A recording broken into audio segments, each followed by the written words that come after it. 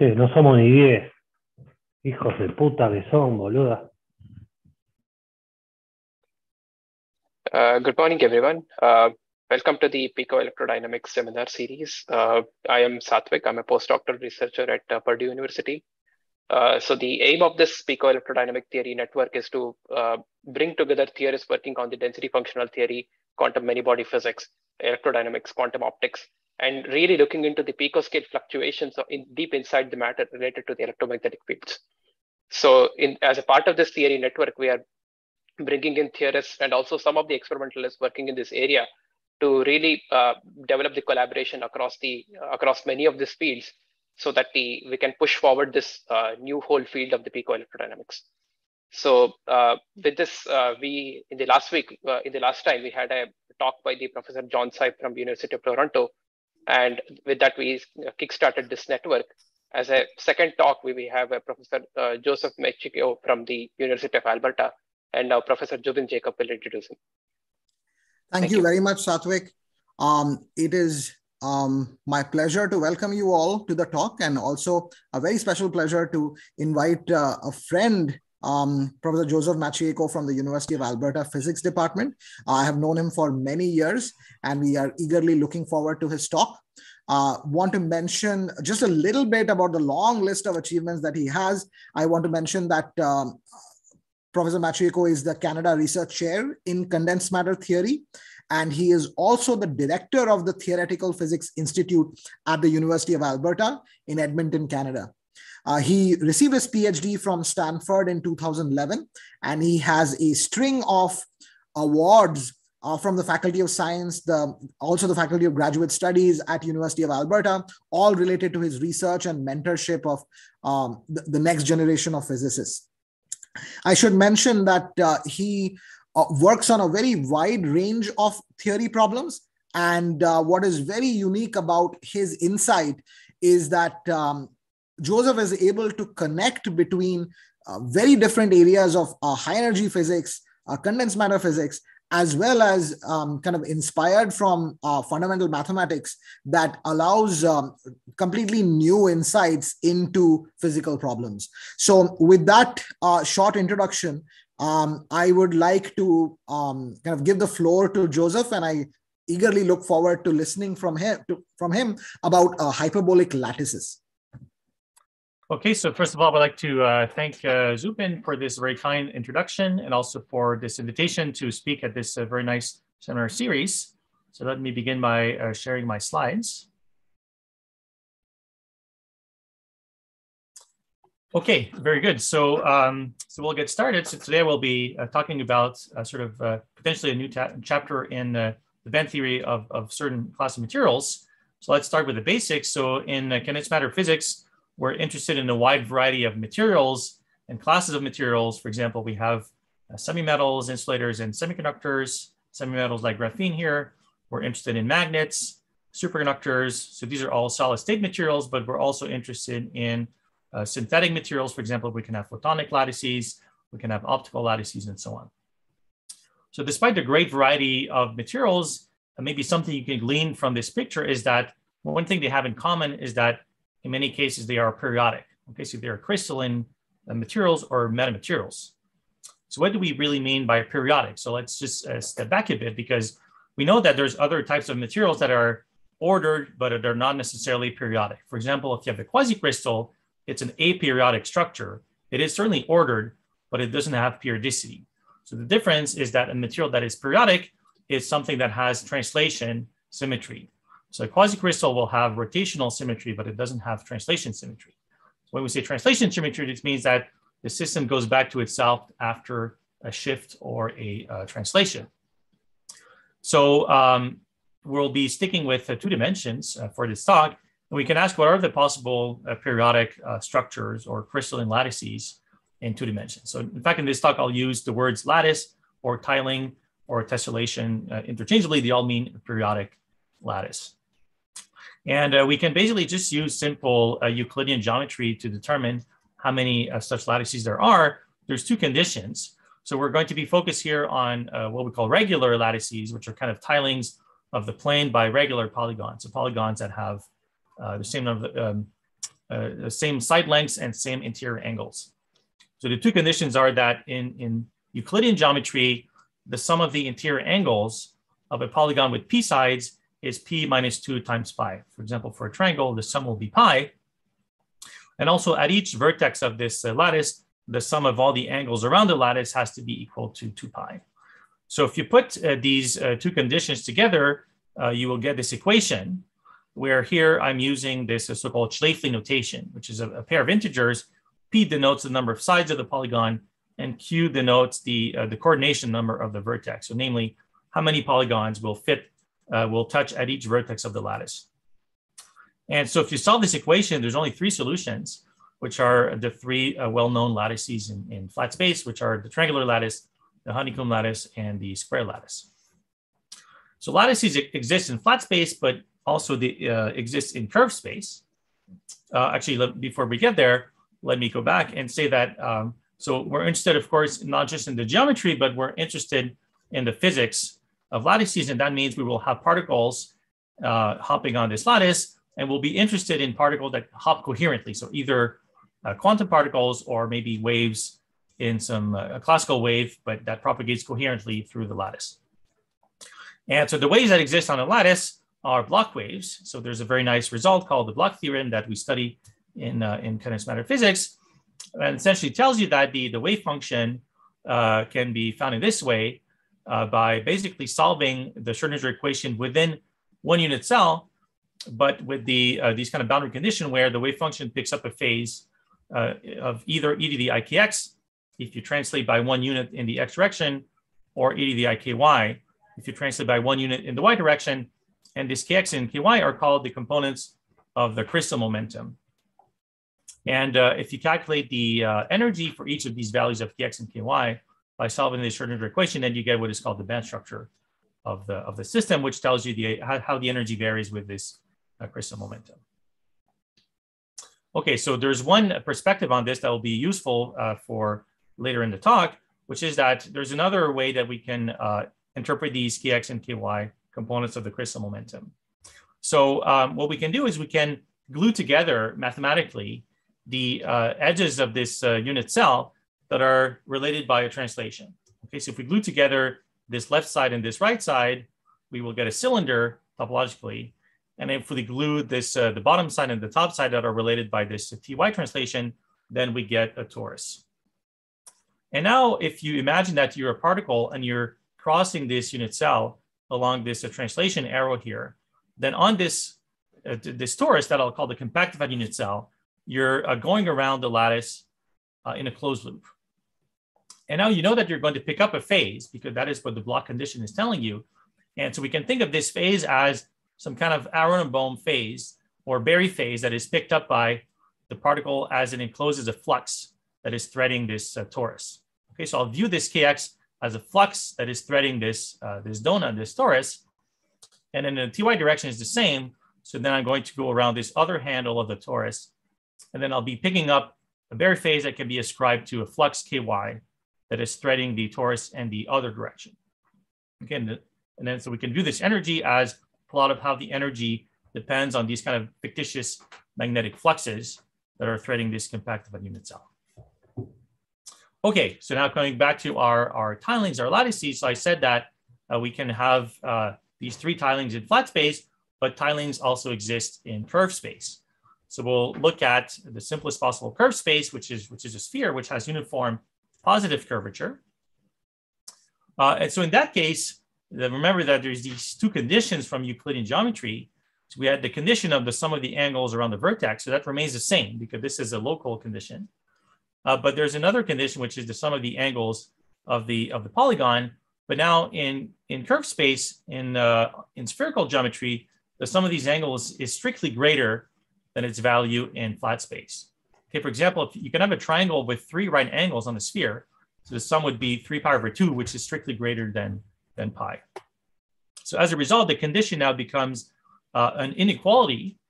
And uh, again, you can solve this inequality, and there's five solutions. And these solutions correspond, in fact, to the Platonic solids. Okay, so they're spherical versions of the, the Platonic solids. So they're lattices, but they're not uh, they're different from in flat space in the sense that they only have finitely many unit cells. So it's not really an infinite or extended tiling. And finally, we can look at the other type of, uh, of geometry, which is the so-called hyperbolic plane. Okay, so the so flat space had uniform uh, zero curvature, the sphere has uniform positive curvature, and the hyperbolic plane is a space in two dimensions that has uniform negative curvature. So that space is a bit harder to visualize because there's actually a theorem called Hilbert's theorem that tells you that you cannot embed this space in, in three-dimensional Euclidean space. Okay, we cannot directly realize it in 3D, but if we could, um, it would look like a saddle at every point. Okay, and in particular, what this means is that the in this hyperbolic geometry, the sum of the angles of a, of a polygon will this time be strictly less than its value in flat space. Okay, if you will, these, these polygons are kind of pointier in uh, hyperbolic space. And as a result, again, we get an inequality, but the sign of the inequality is flipped. And now you see that there's infinitely many solutions uh, to this inequality. Okay, so in fact, uh, there's infinitely many tilings in hyperbolic space. So if you will, the crystallography of hyperbolic space is infinitely richer than that of, of Euclidean space. And furthermore, the tilings now are really extended tilings, like in flat space. Okay, and so what's interesting is that now you can get tilings that are completely impossible in flat space. So for example, you can have something like a honeycomb lattice, but now there's going to be a coordination four instead of coordination three, which again is not possible in flat space. You could have a hyperbolic version of, of uh, a triangular tiling with, with a sevenfold symmetry, which is quite interesting.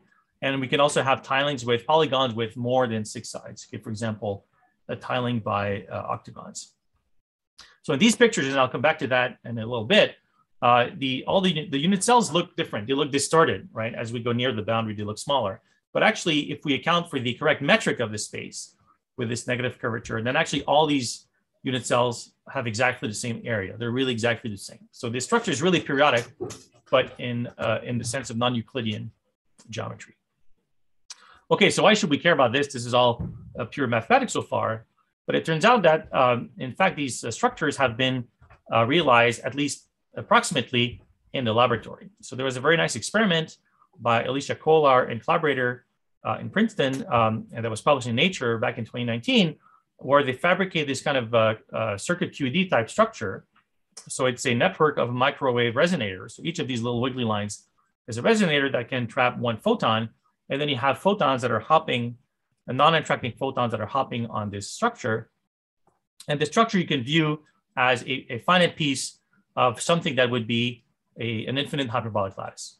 Because in this case, the particular uh, geometry makes it into a hyperbolic Kagome lattice, which is a sort of uh, curved space version of the usual Kagome lattice, which is a network of, of uh, corner sharing triangles, where you have triangles and hexagons usually, but now you have heptagons, okay, which again is, is not possible in Euclidean space. Um, then a bit more recently, there was a, a, realization, this time using classical electrical circuits uh, of a hyperbolic version of the triangular lattice with sevenfold symmetry. And now this is a network of capacitors. And the basic idea is that the, the spectrum of resonances of this classical, this classical circuit will be will exactly match the eigenenergies of a tight binding uh, quantum Hamiltonian on this lattice. So you can view this as a kind of classical simulator of the, of the quantum problem. And the observed uh, signatures of coherent wave propagation in the hyperbolic plane. Uh, and then even more recently, so this was published earlier this year, uh, another classical electrical circuit uh, realization of a, this time a hyperbolic version of the honeycomb lattice, the one that I showed earlier. Okay, so in all these cases, we would like to understand, uh, like we did for ordinary lattices, the spectrum uh, and uh, eigenfunctions of particles that are propagating on these lattices. So in flat space, uh, we know how to do this. So of course we can just do brute force diagonalization in real space, but it's much more interesting and, and convenient to work in momentum space and compute the best structure relying on Bloch's theorem. And now for these hyperbolic tilings, we can do real space diagonalization, but it's not even clear how we would approach the problem from a momentum space point of view. So how do you even define a crystal momentum? Is there a Bloch theorem? And so on. Okay, so in the rest of the talk, I would like to argue that there's in fact a very natural way of uh, defining a crystal momentum for these lattices and constructing Bloch eigenstates, uh, and even in some cases arriving at a Bloch theorem. Okay, so before we get there, let's, uh, I need to introduce a few notions of of geometry that will be helpful to understand the, the construction. So I've been showing you these pictures, these disks with you know these these kind of tilings, but I haven't really explained what these uh, disks mean. So like I said earlier, we cannot directly work with the hyperbolic plane in, in R3. We need to use these, these mathematical models of hyperbolic geometry. And the model that I'm using here is the so-called Poincare disk model. So the basic idea is that we work with the, uh, the unit disk in the complex plane, but instead of putting the, the flat Euclidean metric on it, we're going to work with this so-called the Poincare metric, which is the Euclidean metric divided by a factor. And uh, so this uh, scale factor it kind of blows up as you go near the boundary of the disk. Okay, so in fact, if you're to integrate the area of this disk under that metric, you would see that it, it goes to infinity. Okay, so it's really an infinite space that is kind of represented in some finite disk using this uh, description.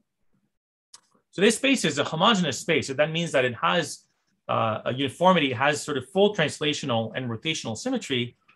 But in hyperbolic space, this takes the form of invariance under uh, Mobius transformations that are also known as conformal transformations. So these are transformations that preserve the angles like any Euclidean transformation, but they do not preserve the Euclidean distance. Okay, for example, if I take these two points here and I apply to them the same uh, Mobius transformation, they will end up here. And so clearly from a Euclidean uh, point of view, they are, these blue points are further apart than the red points. But if you calculate the, uh, this uh, hyperbolic distance or geodesic distance between these two points, then it's exactly the same. Okay, and in fact, the analog of straight lines in this hyperbolic uh, uh space are geodesics, and they're going to be uh, these arcs of circle normal to the boundary. And if you calculate the distance along this geodesic with the right metric, then you will see it's really the same. And so that's why all these nearest neighbor distances are exactly the same actually in, under this metric. And so in the experiment, what they do is that they will have the same strength of coupling between uh, these uh, sites on the graph. And that's why they can emulate the geometry of hyperbolic space, even though, of course, we cannot realize directly hyperbolic space in, in three dimensions. Okay, so we have these uh, mathematical descriptions of, of this space. And uh, to develop a Bloch theory, we need to understand something like discrete translations or lattice translations on this lattice. Okay, so here I'll be focused on this octagonal lattice. And so uh, we want something that will translate from one unit cell to the next. Okay, so for example, this left unit cell here to the unit cell on the right. And um, we might think that because we're in two dimensions, there will be something like two basis vectors or two uh, elementary translations that can generate the whole group of translations. But actually, because of the curvature, there's going to be, in this case, uh, four elementary generators. And in general, there will always be more than two generators in hyperbolic space. Okay, so these generators, if I combine them all, if I multiply them, then I will tile the entire uh, structure. And this group of translations actually is not abelian in, in this case. And um, it, it is has this form is generated by these four translations, and it's uh, it, these translations need to satisfy this relation. So how can I understand this relation? Again, let's proceed by analogy with flat space. So in flat space, let's say for this square lattice, remember that, that I had this picture of a compactified unit cell. And if you look at these uh, arrows here and you draw them on the compactified unit cell, then as I said earlier, there will become closed loops. And um, now this relation here, we can view it from two points of view. So on the translation side, it just means that translations don't, uh, that translations communicate with each other, which is something we know in flat space. And on the, the torus side, this relation means that if you, if you compose these loops, for example, if you go around the blue loop once and then the red loop once, and then you go along the blue loop in the opposite order and the red loop in the opposite order, you will get a curve that can contract to a point on this torus. Okay, that is what is meant by unity. So it's a topological representation of the algebra of translation operators in uh, the extended space. So the same thing happens uh, for this octagonal uh, tiling in, in, hyperbolic space. So if I uh, think about these arrows as loops on the compactified surface, they will obey this kind of loop algebra of composition of loops. So this will be the fundamental group of this uh, surface with two holes in topology. And then in the extended uh, lattice, this means uh, that this is the algebra that these translation operators must obey. All right, so now you maybe you can see where I'm going. So remember that in this uh, translational, uh, in this uh, square lattice, I had this picture of a compactified unit cell as a torus, and then these Bloch phases where Berry phases or Aharonov-Bohm phases picked up by the electron as it goes around the cycles of this uh, torus. Now in this hyperbolic lattice, the, the surface has two holes. So now there's four possible uh, loops on this surface. And so that means that I can naturally define four components of crystal momentum, which are going to be the kind of magnetic fluxes threading these, these cycles. And the reason that I can do that is that I can actually explicitly construct a class of wave functions that will solve the Hamiltonian. Okay, so I will define a wave function as uh, a solution of this Schrodinger equation on the unit cell, but subject to these kind of twisted boundary condition, okay, such that I will pick up a phase of e to the ikj for each translation along direction gamma j. And since there's four of them, there's going to be four distinct components of this crystal momentum. Again, so you can, and can substitute this kind of Bloch ansatz into the Schrodinger equation, solve it, and you will obtain uh, a band structure that you can plot. So what's interesting here is that even though the real space is, uh, of course, still two-dimensional, momentum space now becomes a higher dimensional torus. Okay, so the Brillouin zone now actually becomes a four, or in fact, even can be a six or, or, or a higher dimensional object, depending on the geometry of the lattice. Okay, so uh, so that's kind of where I'm going. So the, the basic idea is that we will define this, uh, this uh, translation group that uh, corresponds to a given unit cell. And in fact, that allows us to, to uh, describe the whole class of lattices, not only a single lattice, understanding that there is a concept of Bravais lattice. Okay, so the Bravais lattice in crystallography is a lattice that has this uh, translation invariance. And we know that not all lattices are Bravais lattices, but we can, we can describe them as a Bravais lattice with a basis. For example, graphene is a honeycomb lattice, and it's not itself a Bravais lattice, but you can view it as a triangular Bravais lattice with two sites per unit cell. So likewise here, for example, this 8 comma 3 lattice, uh, I can view it as an 8 8 lattice with uh, 16 uh, basis sites, which are these red dots here. And so what this means is that I can construct a Bloch Hamiltonian that will live in four dimensional momentum space because of this compactification here with two holes, but with 16 bands. Okay, so the band structure would have uh, 16 bands dispersing in four dimensional momentum space. But as I just mentioned earlier, this uh, dimensional momentum space actually depends on the, uh, the type of lattice I have, which again is quite different from the Euclidean case. So for example, we can show that this uh, heptagonal tiling, now we can view it as a Bravais lattice with a 14 uh, sided unit cell um, and uh, with 56 sites within this 14 sided unit cell. And the 14 sided unit cell, again, we can show that it compactifies onto a genus three surface. So now momentum space becomes six dimensional and there would be uh, 56 bands in this description. Okay, so that's a few examples, but we can make this uh, more general. Okay, so uh, so far there's two issues that I've, I've sort of uh, swept under the rug. Okay, so one is that I've, I've explained that I can construct an infinite family of, of eigenstates of the Bloch form, but I haven't shown that it's a complete set. Okay, so we have an ansatz, but we don't yet have a theorem. And the, the second question is, well, in experiment, of course, we cannot realize an infinite lattice. These are synthetic systems. So uh, whether this Bloch theory can help us understand finite lattices. Uh, so in fact, uh, to address both issues simultaneously, we'll proceed exactly in the same way as we do when we do basic uh, you know, solid state physics and we learn about the Bloch theorem we impose periodic boundary conditions, the wave vector becomes discretized, then we can count exactly how many states we have and make sure that we have accounted for all the states in the spectrum. And also this allows us to, discrete, to describe finite systems, but we can make them arbitrarily large. Okay, so it's a very general way of proceeding. So before I can do directly to the hyperbolic space, imposing periodic boundary conditions is, is not intuitive because of the complicated geometry. So let's review how we do this in, in flat space first. So let's begin with a very simple example, which is just a one-dimensional chain. Um, and so what we do is we impose periodic boundary conditions on a chain with n sites. So I demand that the wave function goes back to itself after a translation by n units. And so, so topologically, this amounts to kind of gluing together these uh, n sites into a circle. And we know that the wave vector becomes discretized now, and there's n linearly independent Bloch states for these n values of, of the momentum. And since we had n sites in our system, the Hilbert space is n dimensional and we've accounted for all the states. Okay, so we're assured that this uh, set of Bloch states is a complete set for the problem. So uh, to transpose this, these ideas to the hyperbolic case, I need to view this from a group theory point of view. Okay, so we won't go into the details of group theory, but the basic idea is that in quantum mechanics, quantum numbers, for example, uh, the uh, crystal momentum, correspond to irreducible representations of the symmetry group. For example, if we have the rotation group, then we know that the angular momentum is the, the label that tells you what are the representation of that group, and they tell you how to label your quantum states in your spectrum. Okay, here, of course, uh, we need to look at momentum, which is uh, which labels the representations of the relevant translation groups. So what are these translation groups? Well, for the infinite lattice, it's just a group Z of translations by one unit. It's an infinite group. And when we compactify this, uh, this uh, lattice, then what this amounts to doing is choosing a subgroup of, uh, of this group G that I call GPBC, which is a group of translations by uh, multiples of n, under which I demand that the wave function remain invariant. Okay?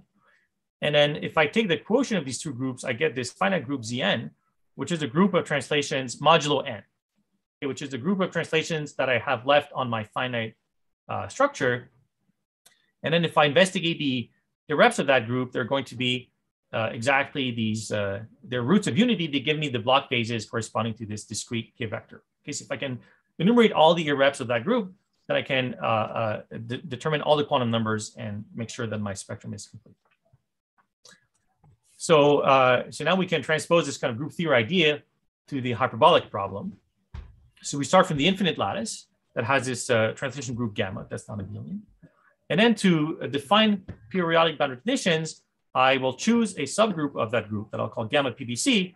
And then I will demand that the wave function remains invariant under the action of that group. Okay. And if I do that correctly, then I will get a, uh, a patch of hyperbolic lattice with uh, without boundaries, a closed patch of it. And furthermore, that has n unit cells of my kind of Bravais lattice structure. And then if I form the quotient, gamma mod gamma PBC, and I look at its irreducible representations, then I can, first of all, they were going to be Bloch states, and I can make sure that I can count them to, uh, to make sure that I have the full, the full spectrum. Okay, so the only uh, tricky bit is that actually enumerating, enumerating these subgroups is actually not a, a, a, simple problem. So in flat space, it's easy. You just make a circle that's bigger and bigger. Or if it was a, a patch of square lattice, you just get a torus that's bigger and bigger. Here, because of the fact that the boundary in hyperbolic space grows very rapidly, uh, it becomes kind of very ragged. Um, there's many different ways of gluing these boundary components together. And so that means that there's many, many different ways of compactifying your patch of lattice into a closed surface. Again, in fact, so we can't do this by hand, but we can do this computationally using sort of group theory uh, uh, computer routines. And what we see is that the number of these possible ways of defining boundary conditions, periodic boundary conditions, grows nearly exponentially with the system size.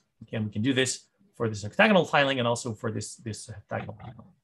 But any of them will define a valid sort of choice of periodic boundary conditions. So having defined these periodic boundary conditions, we can form this group of translation, this quotient that tells us how we translation act on our finite piece of lattice. Um, and then we can work out its, its reducible representation.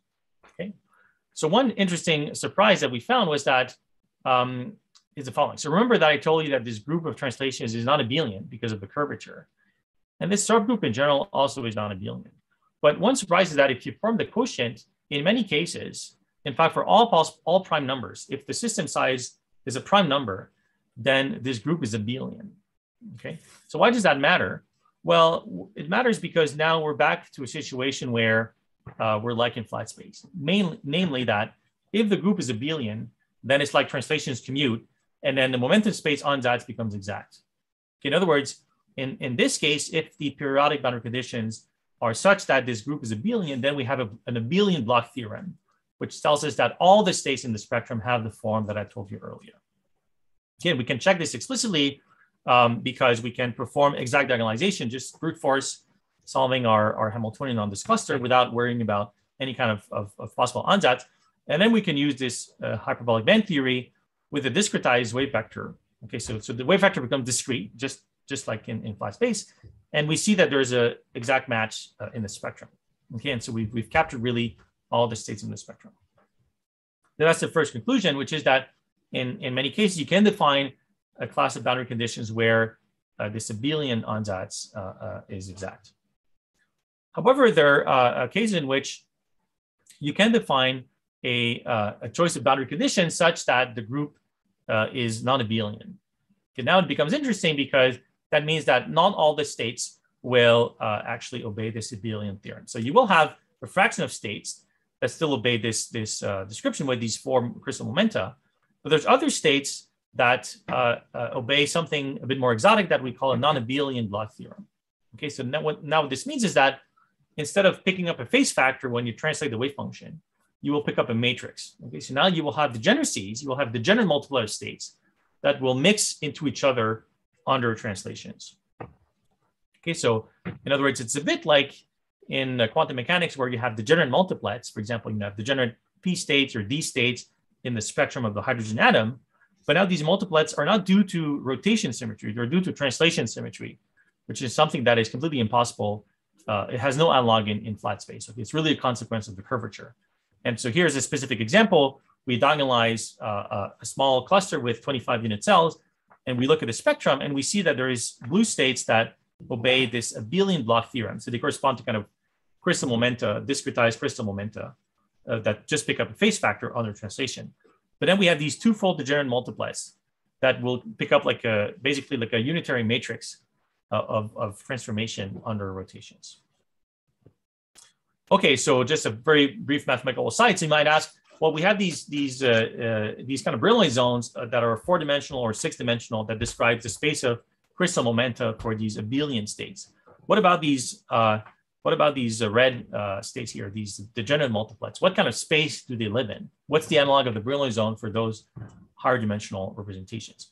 Well, it turns out that it has been studied in, in mathematics, and they go by the name of character varieties um, they've also been studied in high energy physics. Uh, so they are uh, the flat space, they are the space of flat connections on the Riemann surface. So if, if Chern-Simons theory is something that you're familiar with, well, the, the classical phase space of Chern-Simons theory before you quantize it is exactly that, that same space for non-abelian Chern-Simons theory. And then uh, uh, algebraic geometers have also classified and looked at the geometry of these spaces. They view them as, as moduli space of vector bundles. And the reason that this is, is useful for physics is that using these algebraic geometry tools, they can kind of work out the geometry of what this Brillouin zone is. Okay, so for the, in the abelian case, it was just a torus, maybe a higher dimensional torus, but still a torus. And now for these non-abelian Brillouin zones, they're not tori in general. And so in the case of the octagonal lattice and the two-dimensional two-dimensional reps, okay, so basically what is the space that these, these states here live in? Well, mathematicians have showed that it's it's it's a fibration. So it's something like a, a product of a torus times a CP3 manifold, which which is a six-dimensional manifold, which is a bit like a sphere. It's a, it's a sphere-like manifold that has curvature that is uh, uh, tensored with a, a, torus. Okay, it's a kind of a more complicated space. In fact, this space is a 10-dimensional space um, in this case.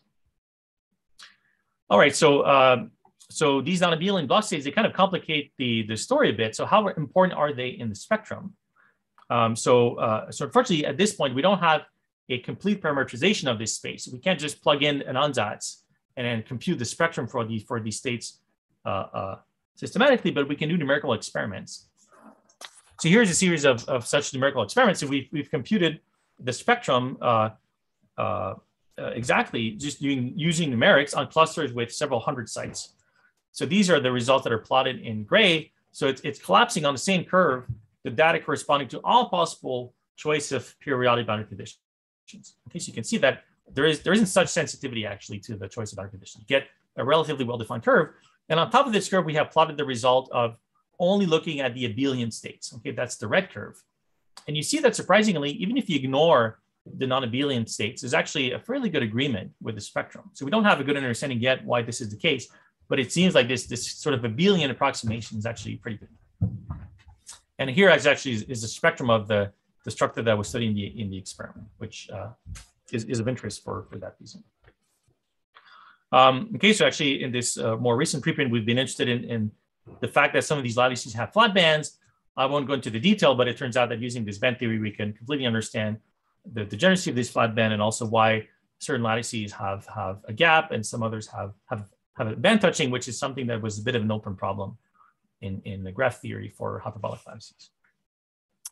So as the last, in the last few minutes, I'll just say a few words about something that I think is a really uh, exciting direction, which is now we have these hyperbolic lattices, we even have a band theory for them. And so if we think about band theory, well, of course, we think about topological band theory. So can we have topological insulator type physics on hyperbolic lattices? And so the answer is yes, there's been recent work on this. And I'll just say a few words about this uh, third uh, paper here. Okay, so what they do is they uh, define a model on a hyperbolic version of the honeycomb lattice, which is this, uh, or this octagonal lattice, this 8-3 lattice that I've shown earlier. And they basically define the analog of the, the famous Haldane model of a Chern insulator on this lattice. Okay, so it's a model that has nearest neighbor hopping, real hopping, but also uh, complex second neighbor hopping that breaks time reversal, opens a gap in the spectrum, and gives you a phase with non-zero Chern number. Okay, so here what they do is they uh, they study this, this problem from three points of view. So they, they define this lattice. In this case, they have a lattice with, with boundary, with edges, and they compute the spectrum or the density of states in three ways. So first, what they do is um, using this band theory that I've just uh, described. So this is the, uh, curve. You see that there is various gaps in the spectrum as well as, as uh, gapless regions. Uh, next, what they do is they extract, uh, they perform exact diagonalization on this kind of flake with a boundary, and they extract the bulk uh, density of states, or at least an approximate version of it, by computing the local density of states only on the innermost unit cell. Okay, so they compute the local density states very far from the boundary, and uh, this is the, the blue curve, and then they compute the density of states, the local density of states near the boundary, and that is the red mm-hmm. curve. So what's quite interesting is, is two things. First, this bulk calculation using the innermost unit cell matches pretty well with the, the, the hyperbolic band theory calculation. Okay, so the momentum space picture, yes, it's not exact, but it captures at least where the gaps are and where most of the structural weight is. And even more interestingly is the fact that in certain gaps, there is a large density of states on the boundary, whereas in some other gaps, there isn't. So what does that mean? Okay, could this possibly be due to edge states? And indeed, they show that it's the case. So uh, when they place the chemical potential in, let's say uh, one of these gaps with with non-trivial uh, boundary density of states, they can set up a wave packet, and then they see that the wave packet propagates in the chiral manner around the around the flake. Um, they can even define a Kane-Mele uh, version of this model with sort of two copies of the Haldane model with opposite spin, and they even add Rashba type terms that ensure that the only symmetry you have is, is time reversal. You don't have spin conservation symmetry. But they, they find this helical uh, propagation, right, where you have sort of counter-propagating edge modes that are Kramers partners. And they even add disorder and show that uh, uh, in the Haldane case, the edge states are robust to any kind of disorder. And for the Kane-Mele case, then the edge states are robust in the presence of time reversal preserving disorder, but that they become localized if uh, you break time reversal uh, and you're in this topological phase. Um, and uh, so that's where the edge physics. Now, are there topological invariants that we can calculate? So here, what they do is they uh, they calculate the so-called real space invariants that you can use if you have a system with disorder, for example, so that, that do not rely on a k-space description. So they calculate a real space Chern number and also a real space Kane-Mele invariant, and they find that precisely when the gap has you know is filled in by edge states, uh, then the invariant is is not trivial. It's not precisely quantized, but this is a finite size effect. So they see that as they make these regions bigger, in this kind of integration formula for the real space invariance, the integer gets closer and closer to the quantized value. So it's it's quite safe to say that it's it's really uh, an invariant. And again, the invariant is trivial whenever you're in this trivial gap. And what's uh, interesting from our point of view is that there seems there even to be a momentum space picture. Okay, so here it's interesting because the momentum space is four dimensional. So you cannot you cannot directly calculate a first Chern number on this 4D space. You can calculate a second Chern number, which actually they do and they find it's, is zero. However, the, you can calculate Chern numbers in two-dimensional planes in this 4D space, okay? And uh, so they can show that so due to point group symmetries, there's actually only two, not, uh, two independent Chern numbers that they call C and CB computed in the one K1, K2 plane and the K1, K3 planes. And they find it precisely when the physics is topological from the point of view of the edge physics and the real space invariance these momentum space also invariants are also non-trivial. Because there really seems to be a sort of bulk edge correspondence even at the level of momentum space that really would be interesting to understand further. So I'm basically done. So before I, I summarize and conclude, I just want to thank my uh, collaborators. So uh, the work on hyperbolic band theory was done with uh, Steven Rayan, who's a, a, mathematician at the University of Saskatchewan. Um, further developments on this, including this Bravais picture that was uh, studied with Igor Boettcher, my colleague at Alberta, Alexey Gorshkov and Alicia Kollár at the Joint Quantum Institute at the University of Maryland, and also Ronny Thomale at the University of Würzburg in Germany. And the work on flat bands that I didn't really get a chance to talk about is done with Tomáš Bzdušek the Paul Scherrer Institute and the University of Zurich in Switzerland. So to summarize, I think uh, hyperbolic lattices are, are, an interesting kind of new platform in, in physics, uh, in synthetic materials to uh, look at, uh, for example, simulation of curve space and also uh, um, produce exotic band structures.